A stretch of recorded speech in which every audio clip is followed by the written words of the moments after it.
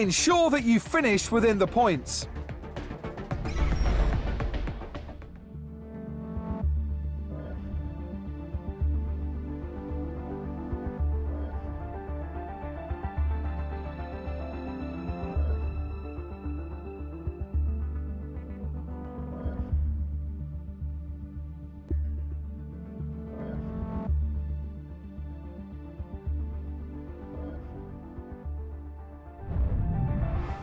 In 14th position is one of the Toro Rosso drivers, who had a poor race start, but seems to be picking up the pace in these latter stages. He's definitely outperforming right now, but is it enough for a points finish?